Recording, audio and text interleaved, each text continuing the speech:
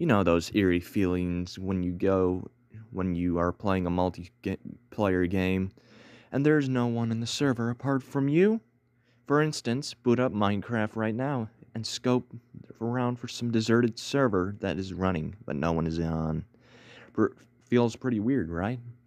Well, this is what my hobby was going around these barely running games and seeing what people had left behind. Not just Minecraft either. Counter Strike, Team Fortress 2, World of Warcraft. All, I used all of these games to explore the special servers nearly every day. I logged down what was on them buildings, maps, announcements on my then my friends. I come along and white build on what I had logged in. I would get paid about $50 for every server I cleared, depending on the size. So, anyway, I'm just sitting here sipping on a Coke when my unnamed friend, due to security reasons, rings me up over Steam and says that there's a this really big indie game map that was just abandoned, and he wanted me to check it out. He also mentioned that the map was larger than normal, so he would pay me around $100. So I accepted and downloaded the client it was an old website. The design was pretty poor and didn't look very popular, so I speculated that I wanted to see just see if it was working. So I created an account and booted up the game. It looked normal enough, sort of like Second Life. That game where you play your, as yourself and run around and buy blind build stuff. So I started the server maintenance screen and went over to some of the hosting stats and found that the server was being run from a single tower that had a proxy. So I couldn't list the location, so I get to get a proper ping to report my friend. But since he was probably going to delete it, I guess that he was just going to make it up. I scanned over the other active servers and seemed like the only active one was this one he was probably going to wipe it and demolish the company project, so I guess it's why I'm getting such a big bonus for it. I logged into the server and the loading screen came up. Hence, a bar and some picture of people playing at the usual. After the screen had completed, my avatar had dropped into a little forest. I'm assumed that this was outside of any main city or town, so I just walked forward, hop- hoping that some sort of tutorial would guide me around, but nothing happened. The graphics were quite advanced for a game its age. The forest spanned for ages, and the trees were like that of an Elwynn forest of World of, of Warcraft. I told of you all of this to my friends as we kept the channel for open for the fast information. After walking around the forest about 20 minutes, I came to this bigger than normal tree. It had a big door on the front of it as it looked as if next it has been carved into the woods by hand. The kind of like the ones of the Nightmare Before Christmas. But anyway, it, the cursor came up with the interactions, a symbol, and the screen went black and my voice channel cut out. There is no loading screen, only the sounds of the poorly looped 8 bit music that was on the last loading screen. So I waited and waited until finally the game comes back in with my voice. The only thing that was entire tree is a big mirror.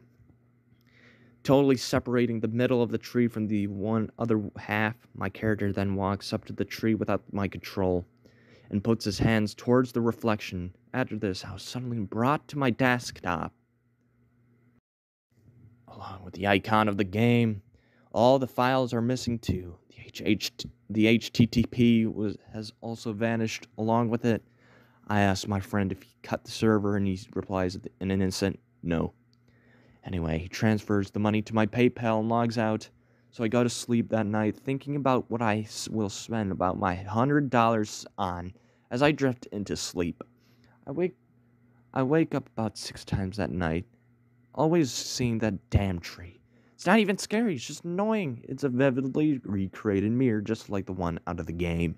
And I keep touching it I get up around 6 a.m. after being unable to sleep and decide to hop on the computer for the weekend and rummage around about on Steam for about good ideals. I get about halfway through watching some of the Saints Row trailer when I get invited to play some CSS. The name was added to my friends, but I don't recognize him at all. The name was actually resembling mine, keeps flashing, and a couple after a couple of minutes, decided to oblige. The server is pretty normal, just a dust 2 with no announcements, and him, myself, on opposite teams. It must be a peer to peer because the server name is exactly the same as mine. I bet it's my friend pulling a prank. After I go through the option and get my game all set, I decided to buy an AWP to shoot this guy with up with. But whenever I press the key, I have assigned that to bind the game, freezes and go back to normal after about two seconds. So I decided it was some buggy server coding and continue with the game with the trusty old Glock. After I uh, run out of spawn, I can hear a fair laugh giggle from the other side of the map. I brush it off as a script plugin and keep running around. I can look for this guy about 10 minutes when I am about to leave, but I see him in the corner of my eye running under the walkway. I follow him under, but when I re-emerge from the other side, I see not the other side of the map, but the inside of a big tree and the large mirror is stretched across my screen. Screen. The reflection of is not of the terrorist I am playing as, but of me, sitting there at my keyboard, throwing my headsets off, and check my webcam. Nothing is turned on. What the hell is this? And the reflection of my hand extends from my mouse and begins cutting into its arm with its nails, smiling the entire time while it does so. The cuts start appearing on my arms, and he just giggles, and so does does so. I scream and turn off the computer before fading to black.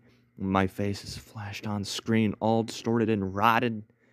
I waited about four days before turning the computer back on.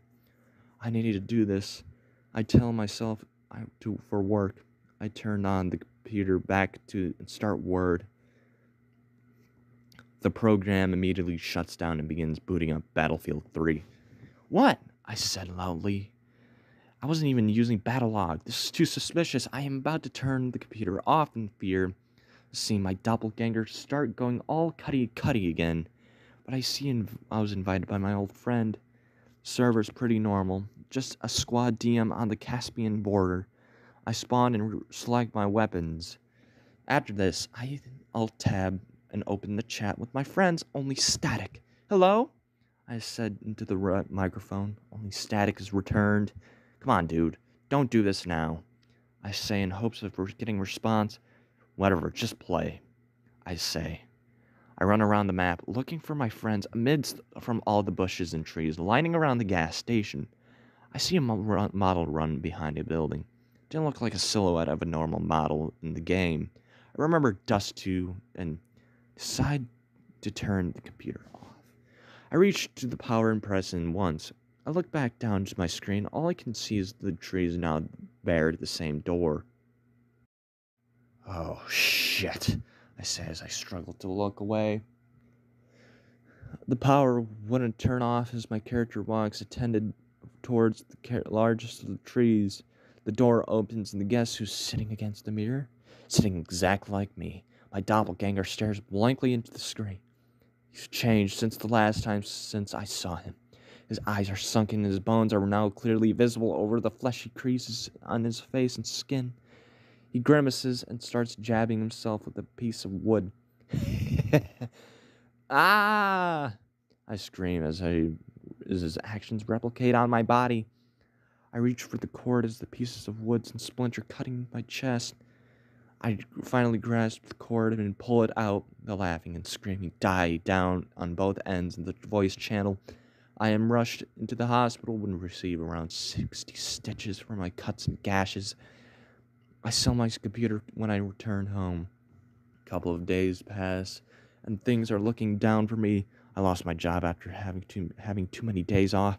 I'm still thinking about my tree, my doppelganger. I began walking towards around the interior of my house, thinking on what I could do. I think about mirrors, me, insanity, and how I can overcome this bastard. And it clicks. The mirrors and trees. I need to get back to the game. Knowing the HTTP is downed, I realize I need to host it. I buy a cheap Dell computer from my local store and set up a peer-to-peer host in the hopes I can get get me in this one room again. Server pings online as I entered as what I remembered to be the host.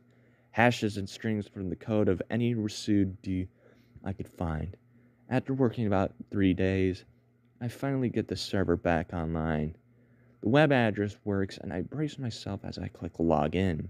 The page is different. I had a, had a picture of me losing my job, as well as my loved ones and crying people being killed, beheading, torture, cannibalism, and decapitation line my screen as the game played the same howling noise I met first met this doppelganger.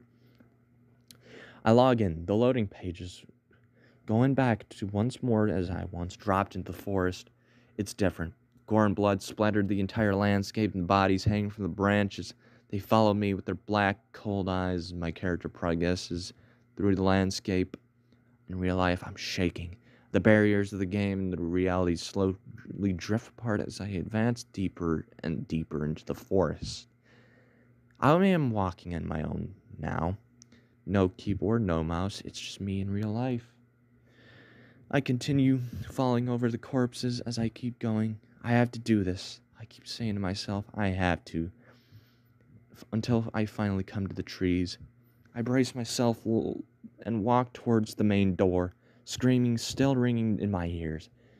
It slows down to mere giggles as I r- walk towards the mirror.